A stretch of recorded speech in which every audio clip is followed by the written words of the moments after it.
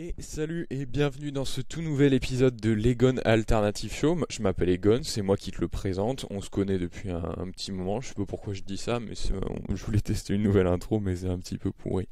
Euh, j'espère que tu vas bien. Ou c'est peut-être un petit peu fort encore. Ou alors, en fait, je sais jamais parce que si tu veux, sur les micros, t'as deux trucs. Sur les micros, t'as le volume que tu règles du son que tu entends et le volume du son réel, tu vois. Donc, en fait, des fois, euh, j'entends fort, mais c'est peut-être parce que j'ai réglé trop fort. Mais là, apparemment, on est bien selon le petit, euh, le petit histogramme que j'ai là. Euh, aujourd'hui, je voulais te... Aujourd'hui, je voulais te parler d'un truc. Alors encore, encore une fois, pour être honnête, je vais faire encore un aparté, briser le quatrième mur. Euh, aujourd'hui, j'ai voulu refaire à nouveau un plan, tu vois, parce que je me suis dit que bon, si je veux, tu vois, si je veux faire un truc dans la vie, dans le discours ou quoi, il va falloir que qu'un jour que je construise des plans quand même, tu vois. Je sais pas si ça se trouve un jour si je suis amené à faire des, des talks devant des tu vois, devant euh, du public ou j'en sais rien, peut-être faire euh, de la radio pro ou, monter carrément mon émission radio, il, faudrait que j'ai un discours un peu plus structuré. Et tu vois, c'est marrant, j'ai essayé avec les mêmes structures de plan euh, que j'utilisais dans les vidéos d'avant et ça marche pas, tu vois. Et J'essaye, je me suis vraiment, je me suis, j'ai vraiment pas essayé de m'acharner cette fois-là. Je me suis dit, si ça marche pas, c'est que là t'es dans une phase où il faut que tu, tu sortes tout simplement, euh, tu sortes tout simplement ce qui est à l'intérieur comme c'est, tu vois, sans essayer le, le de planifier, de catégoriser ou quoi. Un jour, ça va revenir et à chaque fois que il devait y avoir un changement, euh, il y a eu une sorte de déclic avant, tu vois. Et là, ça y est pas. Là, je suis vraiment dans le dans le feedback euh, intestinal, tu vois. Donc, on va rester là-dedans. Aujourd'hui, je voulais te parler d'une histoire et puis on a une super question of the day aussi. Il va falloir que j'aille chercher mon portable. J'ai oublié sur le truc là-bas. Aujourd'hui, je voulais, je je voudrais te parler d'un gars que j'ai rencontré ce matin là. Alors, c'est marrant parce que ça fait deux mois qu'on est tous les deux euh, dans cet hôtel, tu vois. Et on se disait souvent bonjour et tout, mais euh, on n'a jamais eu vraiment une grosse discussion. Et là, c'est un ou deux jours avant de partir. Moi, je pars demain pour Perth et pour Sydney dans deux jours pour rejoindre ma copine. Et donc, du coup, c'est un ou deux jours avant de partir que qu'on a vraiment une super discussion et que je découvre pour la première fois ce mec. Alors, ce gars, il s'appelle Matthew Fletcher. Euh, je l'ai ajouté sur Facebook. Là, je te mettrai peut-être des petites photos. Je lui ai demandé qu'on prenne un petit selfie plus tard aujourd'hui parce que je veux une photo avec ce mec, c'est obligé, tu vois. Et si tu veux, ce gars, c'est le détenteur d'une petite, euh, d'un petit van Toyota qui est juste là sur le parking. Et il a aussi une petite moto, une Honda CT 110. Tu sais, c'est les petites motos de, que les, postiers utilisaient en fait, et qui est une moto géniale. Il y, a eu, tout un délire en Australie autour de cette moto-là et de faire des road trips avec. Alors c'est une mini moto, tu vois, tu vas à 70, 80 maximum. Euh, aujourd'hui, avec les nouveaux modèles, apparemment, parce que j'ai j'ai parlé à un postier, je lui ai posé quelques questions sur les nouveaux modèles.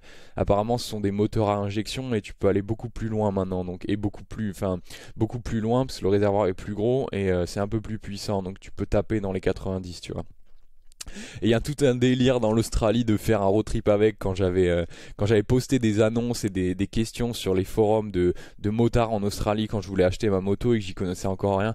J'ai eu tellement d'annonces et d'offres pour acheter ces, motos là et ils me disaient tous ouais le but au final c'est que ça roule, tu vois, tu t'en fous, t'es pas pressé par le temps. Euh, si tu veux faire un vrai road trip, euh, ça ça te lâchera jamais et apparemment effectivement c'est increvable, c'est un peu comme nos c'est un peu comme nos, nos vieilles enfin nous en France on a ça, c'est les Peugeot, euh, je sais plus le nom, mais je sais qu'on a des mobilettes Peugeot qui sont réputées pour être increvables. Et bon bref, du coup il, a son big van comme ça, c'est un merdier pas possible, c'est un gros foutoir son van, tu vois. Et il met sa moto dedans comme ça des fois quand il quand il quand il se pose, tu vois, il sort la moto, il va faire un tour et tout. Et il fait le, tour de l'Australie depuis un an, il a quitté le New South Wales et euh, il s'arrête de temps en temps dans des villes, tu vois, pour remplir les caisses. Et il a, il a acquis un certain savoir-faire à force de s'arrêter un peu comme ça dans chaque ville. Il, disait que voilà, qu'il était compétent dans certains trucs. Je crois qu'il avait appris avec son père euh, des rudiments de plomberie, de, de, de charpentier, de menuisier. Apparemment, il fabriquait ses propres meubles et tout. Enfin, c'est un mec à tout faire, tu vois. C'est le genre de mec, c'est un peu comme mon grand-père, tu vois. Mon grand-père, euh, toujours, toujours cette image dans la tête, mais genre il y a deux ans, je crois, mon grand-père, c'est ils pêchent beaucoup, tu vois. Et à deux ans, à un moment en Slovaquie, je me réveille, je vais dans la cuisine. Alors tu vois, tu sais, c'est les HLM, c'est les, les petits appartes comme ça, euh, façon très très euh, communiste, tu vois. C'est des trucs, ils sont tous pareils et tout. Du coup, je me réveille dans la, je suis dans la cuisine, un peu la tête dans le cul. Et là, je vois mon grand-père debout, tu vois, sur la gazinière, en train de, de forger, en train de vraiment faire de la forgerie euh, d'hameçon, enfin pas d'hameçon, mais euh, de poids, tu sais, parce que quand tu lances une ligne dans l'eau, quand tu fais de la pêche, il faut que il faut que la ligne euh, euh, coule, on va dire, et du coup, euh, les pêcheurs mettent des poids sur leur ligne, tu vois. Et il était en train de faire ça, il y avait une, vraie forge qui, se passait devant mes yeux comme ça, tu vois. Je venais de me réveiller, j'ai fait waouh, what the fuck, tu vois. Et ça m'a fait un peu cet effet-là. Et ce mec-là, c'est pareil, tu vois. Et du coup, ça a commencé avec les didgeridoo. Et d'ailleurs, il, m'a donné un, il m'a donné une espèce de pipe. Il m'a dit, tiens, si, tu regardes la vidéo sur, sur, sur YouTube, euh, là, je suis en train de te montrer une espèce de. En fait, c'est un tuyau de construction qui est utilisé en site de construction, mais qui apparemment est vraiment génial. Je te ferai une petite démo à la fin. Pour euh, commencer le didgeridoo, il m'a appris il m'a appris la théorie parce que j'ai essayé mais j'y suis pas arrivé de la respiration circulaire pour avoir toujours un souffle constant. Tu vois, en fait, les mecs, ils arrivent à souffler et à respirer en même temps. C'est un peu hardcore, il faut que je m'entraîne. Je vais pas trop m'attarder dans les détails, j'ai tellement de trucs à te raconter. Et du coup, on a parlé un peu de tout ça. Il m'a raconté un peu ses aventures. Et ce gars-là, c'est un vrai Indiana Jones, tu vois, mais sans déconner. Il me disait qu'il était à Darwin et qu'à un moment, il devait, il devait traverser une rivière qui était à hauteur de, à hauteur de taille, tu vois. Et le truc, c'est qu'à Darwin, euh, enfin, Darwin, c'est vraiment, c'est la guerre, tu vois, c'est la jungle. C'est-à-dire que t'as des crocodiles dans les rivières. Et il me disait que son délire, c'était de traverser la rivière pour aller sur une espèce de semi-île, tu vois, euh, et, et, que du coup d'un côté il avait une espèce de mur de pierre il tenait sa il tenait sa mobilette comme ça sa Honda CT tu vois avec une main et qu'il avait une arbalète en même temps donc il était protégé sur le côté droit tu vois parce qu'il avait le dos au mur. Et il avait euh, il avait sa, sa mobilette qui lui protégeait l'avant du corps et en même temps il avait son arbalète comme ça il scrutait l'eau en traversant parce que c'est vraiment Darwin c'est là où t'as des crocodiles enfin c'est la pampa tu vois. Ça, déconne pas. Et en fait il cherchait il cherchait des rudiments de il cherchait des têtes de d'aborigènes, tu sais, des euh, comment dire, des, des, têtes de lance euh, euh, dans le silex et dans le dans, dans du quartz et tout. C'était vraiment un lieu hyper connu pour ça parce que les aborigènes apparemment avaient vraiment fréquenté la région pendant au moins 200 200 000 années, tu vois, et qu'il y avait toujours vraiment plein plein plein de fossiles et de résidus de d'outils de, pêche, tu vois. Et il m'en a montré plein et tout. Il me disait qu'il traversait comme ça et que au final, il s'était dit que ben, le l'eau à, taille de à hauteur de taille, c'était beaucoup trop bas pour les crocodiles et qu'il n'y avait pas de risque. Et une fois qu'il est arrivé au bout, il m'a raconté qu'il avait entendu un énorme splash et un énorme comme ça. Et il se retourne et il avait vu un crocodile de la taille. De, il m'a montré il m'a montré son van. Il m'a dit le crocodile, il faisait la longueur de mon van, tu vois qui s'était jeté dans l'eau et qu'en fait il était vraiment juste à côté de lui dans un espèce de tas de boue depuis euh, depuis euh, les 5 minutes où il traversait mais qu'il l'avait pas vu et que qu'il était un peu passé à côté de la mort tu vois parce que hein, avec un crocodile tu peux rien faire avec une arbalète tu vois. Et bon et voilà et ça c'est une des une des mille histoires qu'il m'a raconté je te jure on a passé deux heures sur le parking là et je lui demandais euh, et, tes projets alors c'est quoi et tout. Et en fait là ce qu'il va faire son, son projet pour l'instant c'est de rester un peu en Australie et de passer sa licence de mineur d'or. Parce qu'ici tu as des mineurs d'or euh, individuels enfin pas individuels mais privés tu vois. Tu te mets à ton compte tu as besoin d'une licence. Ça s'appelle un ticket ici. Et euh, il faut que tu t'achètes du matos donc le détecteur d'or tous les tamis et tout tu vois. Il m'a un petit peu expliqué les process et qu'il veut vraiment se mettre là-dedans. Alors il y connaissait pas grand-chose, mais le truc c'est vraiment voilà, tu as ton van. J'en ai croisé un moi quand je venais, euh, quand je suis arrivé à Albanie de mineur d'or dans une dans une station essence. Et ça fonctionne comme ça, c'est-à-dire qu'ils ont un putain de 4x4 ou de van et derrière une méga caravane avec tout l'attirail, tu vois. Et euh, je sais pas comment, je crois que c'est en fonction d'un site internet, euh, un site internet de, cartes, de géolocalisation, de je sais pas quoi, tu vois. Et ils connaissent tous un peu leur site comme ça, ils s'enfoncent dans le bush, dans la forêt ou dans, dans le désert et tout. Et pendant une semaine, ils creusent comme ça et... Euh, Et à la fin de la semaine, s'ils ont de la chance, tu vois, ils, ils, se, trouvent euh, une once, mais c'est, de l'or de 24 carats, tu vois. Et ça leur fait, euh, il me disait, le, gars que j'avais rencontré quand je suis arrivé ici, que il pouvait faire des semaines à 5000 dollars, tu vois, euh, quand, quand il avait de la chance. Donc c'est vraiment un, truc de malade, c'est un Indiana Jones, le gars, tu vois. Et je lui ai demandé s'il comptait un peu tester l'Europe et tout, et il m'a dit, ouais, j'aimerais bien aller en Amérique, faire la route 66 sur une Harley et tout. Enfin, le mec, il avait peur de rien, et c'est ça qui m'a vraiment fasciné tu vois, c'est qu'il il était habillé comme, euh, comme un vieil ouvrier, tu vois, une, vieille, un vieux pantalon, des vieilles Santiago et une vieille chemise de, d'ouvrier comme, comme moi j'avais à Sydney, mais il reculait devant rien, tu vois, son van c'était le foutoir, mais il y avait de tout, tu vois, il y avait, il y avait, tu sais, les espèces de, comment ça s'appelle, les, les trucs sur lesquels les forgeurs tapent avec un marteau, là, euh, merde, les, euh, une enclume, une mini enclume faite à partir d'un rail de train, tu vois, qu'il qui, qui avait construite ou qu'il avait acheté dans un truc. Et il me disait que il, il avait aussi euh, quelques connaissances dans la fabrication de bijoux, tu vois, et que de temps en temps ça lui prenait de fabriquer des bijoux avec des opales qu'il avait trouvé, enfin un truc de malade, tu vois, un aventurier de ouf.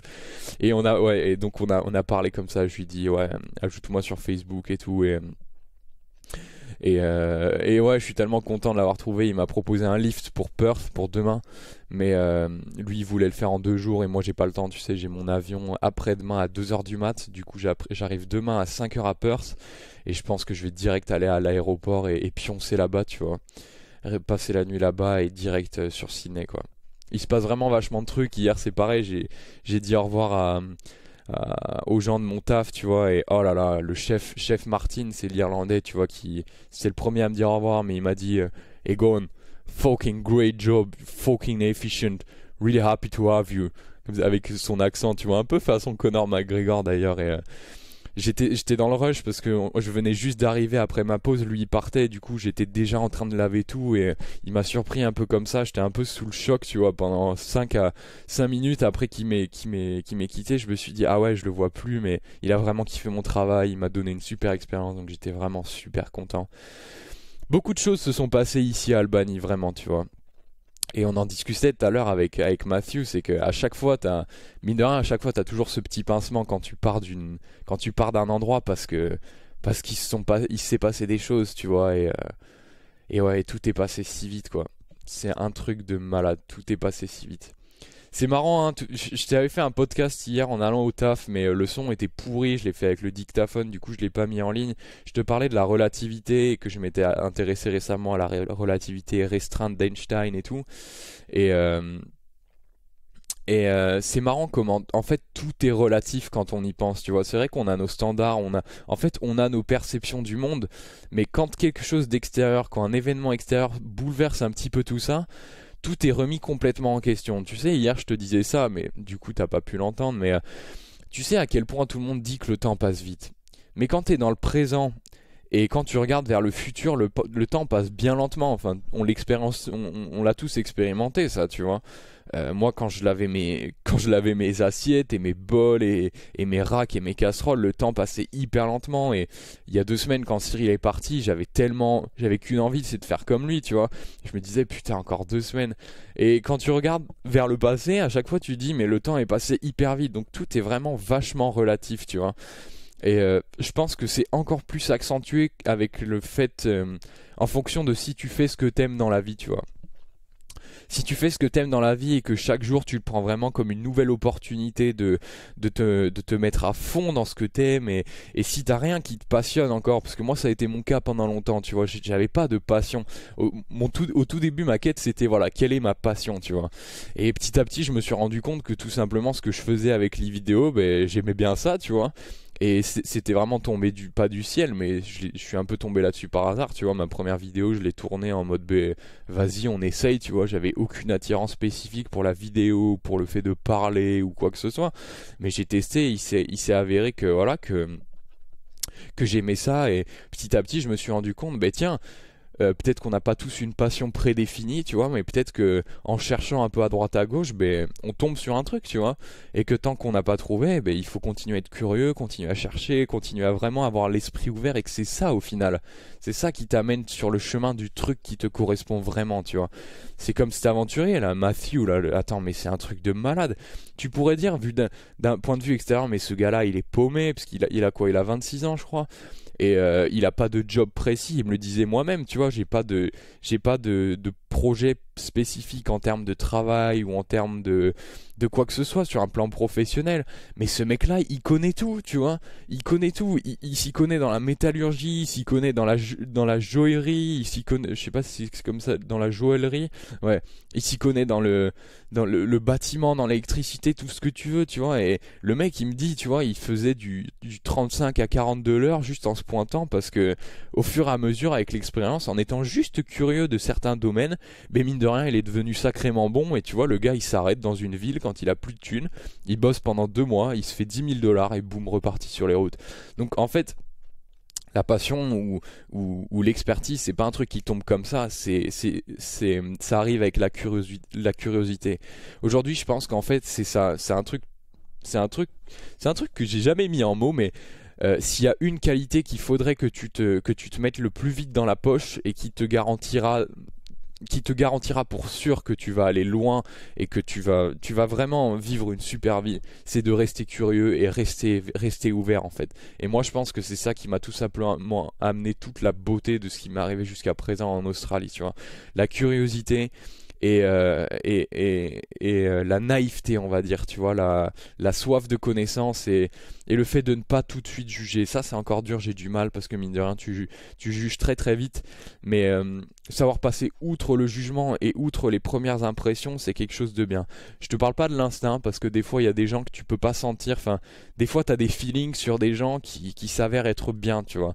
Et on a du mal à les croire, ces premiers feelings mais euh, souvent il s'avère être vrai. Tu vois, le feeling qu'on a pour une situation quand on dit ah ouais là ça pue là, tu vois, ce genre d'impression là, c'est souvent des bonnes bonnes impressions.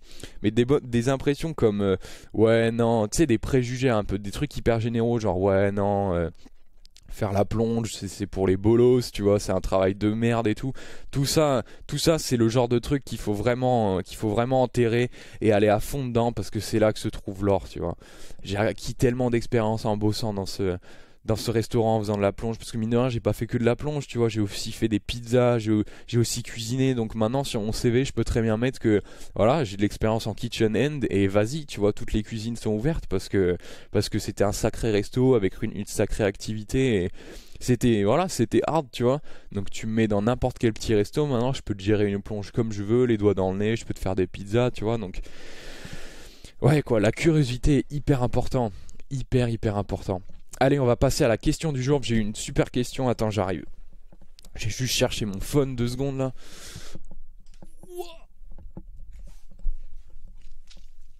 Alors, question du jour par euh, Manon, je crois, que je dise pas de conneries. Euh, je vais te lire la question en entière parce que euh, essayer de la résumer, essayer de la généraliser, ce serait, ce serait vraiment, je pense, ce serait pas assez, ce serait pas donné assez de. Bon, bref, je vais, vraiment te la lire parce que ça va aider pour la réponse, tu vas voir. Donc Manon, à ce que j'ai compris, elle est étudiante, voilà, L2 de psycho, et je compte aller au moins jusqu'à la L3 pour avoir un diplôme, mais je sais que le master ne m'attire pas. En réalité, je n'ai aucune idée de ce que je veux faire plus tard, ni de ce qui me passionne. Mon futur m'angoisse un peu du coup, surtout à cause de mes parents qui s'inquiètent beaucoup pour mon avenir.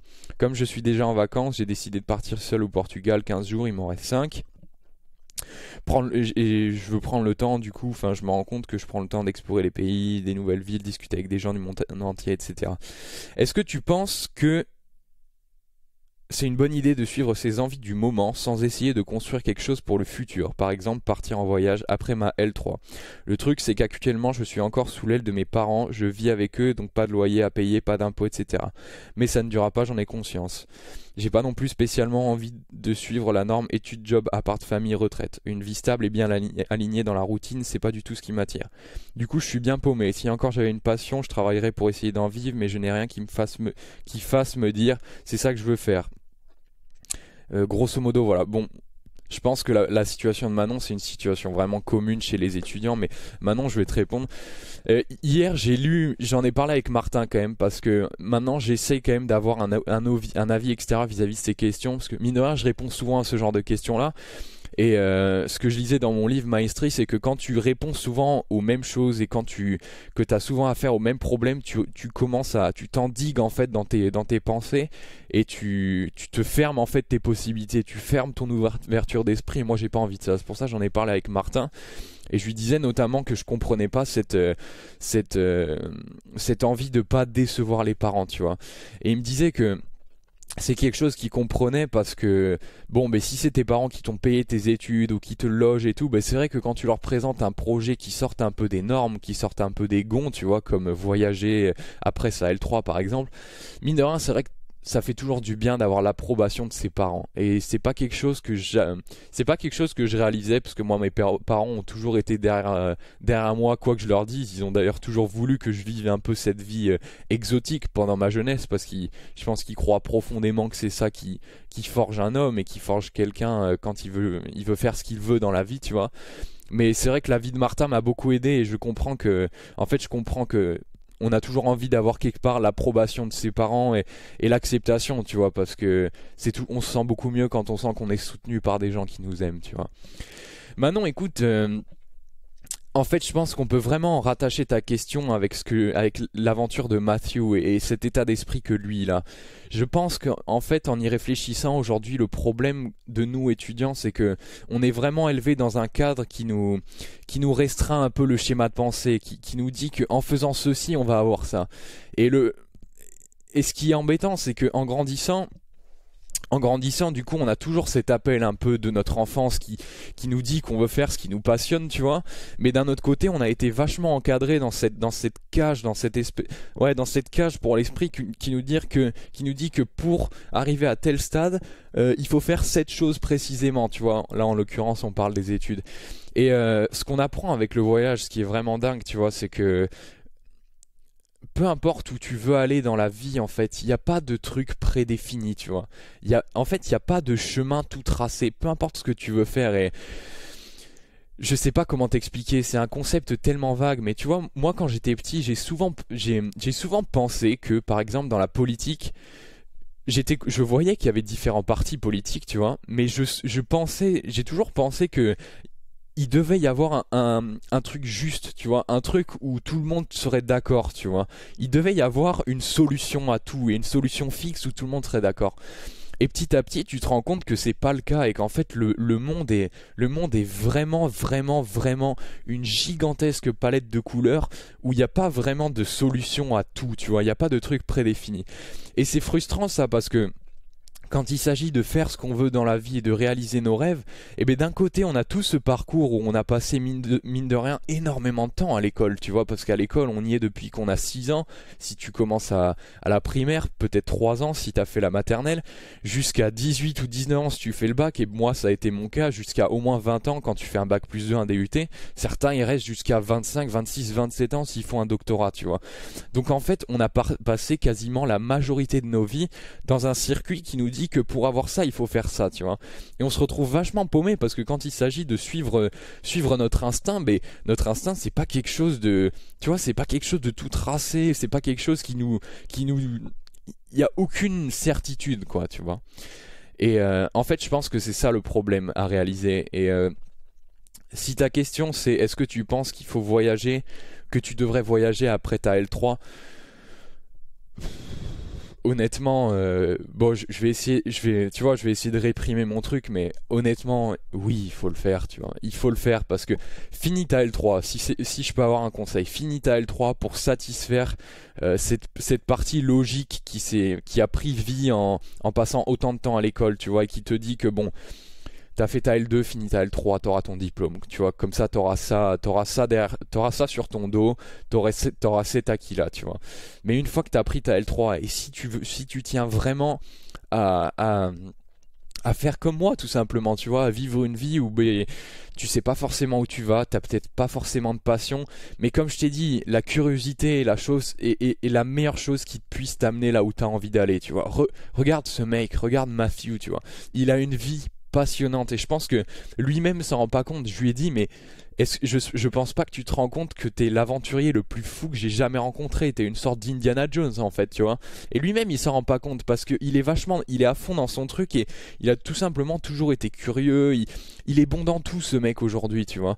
Et même s'il sait pas où il va aller, il a 26 ans, mais je veux dire 26 ans c'est hyper jeune je, suis certain, je peux te dire que quand je lui parlais, je suis certain que ce mec, il va aller super loin, tu vois, parce qu'il a cette fin, il croit tout simplement en lui, il croit en ses tripes, et jusqu'à présent, enfin, je veux dire, tu t'assieds avec ce mec, c'est un livre ouvert, le gars, tu vois, et un jour, il va trouver un truc qui va le, bah, tu vois, peut-être qu'il le fait déjà en même temps, mais bon, bref, on s'égare.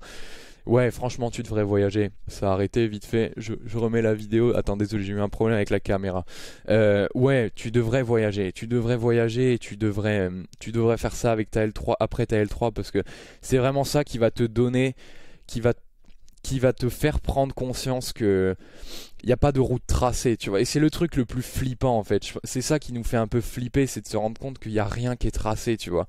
Mais c'est ça qui est tellement excitant une fois que tu y es dedans. Il, faut juste prendre, il faut juste prendre l'habitude.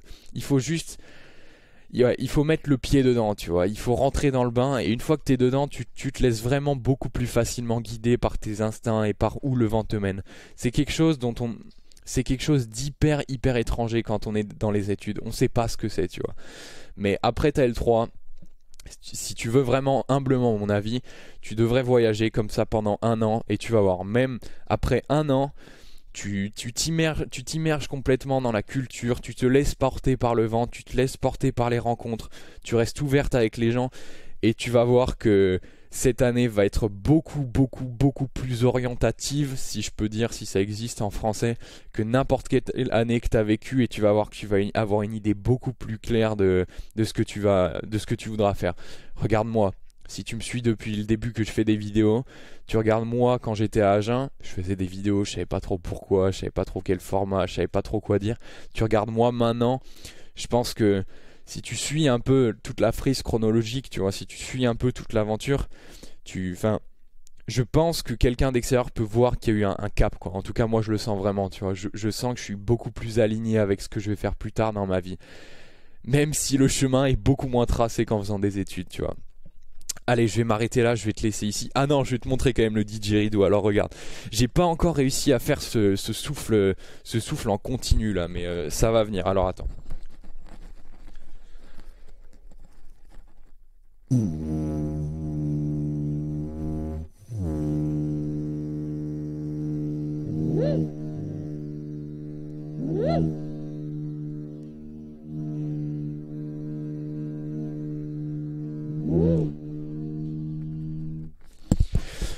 tu vois, c'est ouf. Franchement, ça me donne une, une sensation, ça donne une sensation vraiment incroyable, si tu veux savoir. Je pense que, enfin ça, je vais pas pouvoir le prendre malheureusement à Sydney, mais je pense que je vais m'acheter un, autre tube comme ça dans un magasin de, dans un hardware shop, tu vois, et, je vais m'entraîner à, la respiration circulaire et tout. Bref.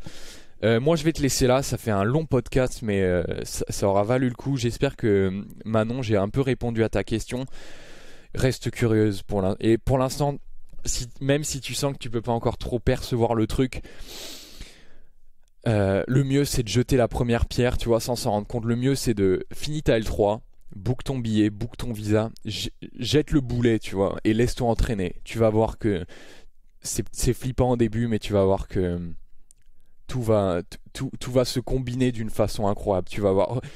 Et confiance, et confiance en, et confiance en mon aventure, en ce que je vis en ce moment, tu vois. Je suis exactement comme toi et regarde où ça m'a mené aujourd'hui, tu vois. Regarde où je suis et. Ouais, et confiance. Allez, moi je te laisse, je te laisse pour ce podcast et euh, je te dis à la prochaine. Merci pour la question of the day. Si t'en as une, pose-la dans, dans les commentaires et je pourrai y répondre dans le prochain podcast. Je te dis à la prochaine. Ciao.